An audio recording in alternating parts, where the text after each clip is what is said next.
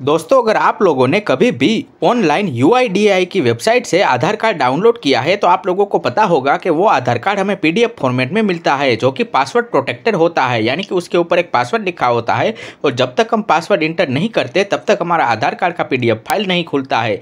तो काफ़ी सारे लोगों के यही क्वेश्चन होते हैं कि इस आधार कार्ड का जो पीडीएफ होता है, उसका पासवर्ड क्या है? तो आज के इस वीडियो में हम इसी के बारे में जानेंगे तो वीडियो को पूरा लास्ट तक ज़रूर देखिएगा, और अगर वीडियो आपको पसंद आता है तो हमारे चैनल को सब्सक्राइब करें।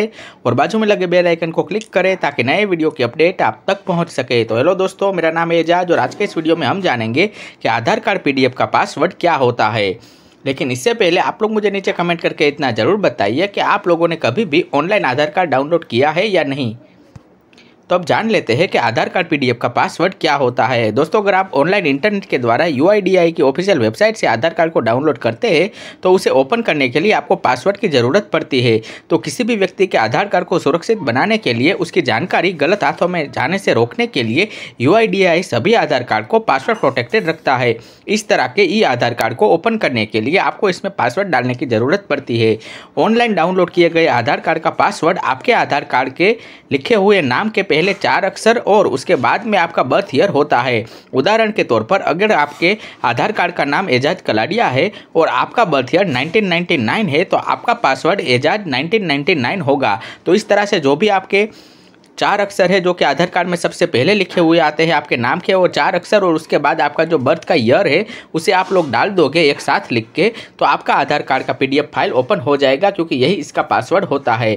तो अब आपको पता चल गया होगा कि आधार कार्ड पीडीएफ का पासवर्ड क्या होता है और अब जानते हैं कि ये आधार कार्ड पासवर्ड डालकर कैसे खोल सकते हैं। तो यूआईडीआई की वेबसाइट से डाउनलोड किए गए आधार कार्ड के पीडीएफ को ओपन करने के लिए आपको अपने आधार कार्ड में लिखे हुए नाम के पहले चार अक्षर और उसके बाद आपका बर्थ ईयर पासवर्ड के तौर पर डालना होता है तो ये खुल जाता है। और अब जानते हैं कि आधार कार्ड का पासवर्ड क्यों ज़रूरी होता है। तो हर व्यक्ति के आधार कार्ड को सुरक्षित बनाने के लिए और गलत हाथों में जाने से रोकने के लिए यू की द्वारा आधार कार्ड के पीडीएफ के पासवर्ड को सेट कर दिया जाता है, ताकि कोई भी दूसरा व्यक्ति आधार कार्ड को ओपन न कर सके और उसका गलत इस्तेमाल ना हो।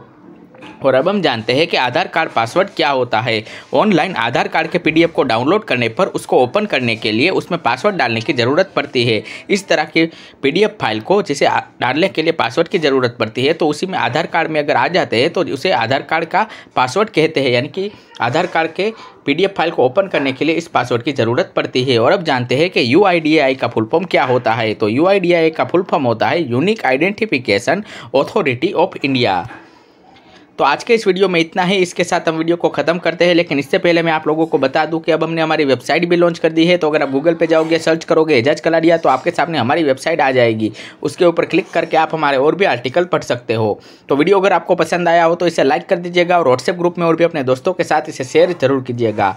और ऐसे इन्फॉर्मेशनल वीडियो देखते रहने के लिए हमारे चैनल को सब्सक्राइब करें और बाजू में लगे बेलाइकन को क्लिक करें, ताकि जब भी कोई नया वीडियो मैं अपलोड करूँ तो उसकी नोटिफिकेशन आप तक पहुँच सके। और इस वीडियो से संबंधित किसी भी तरह का प्रश्न पूछने के लिए नीचे कमेंट करें।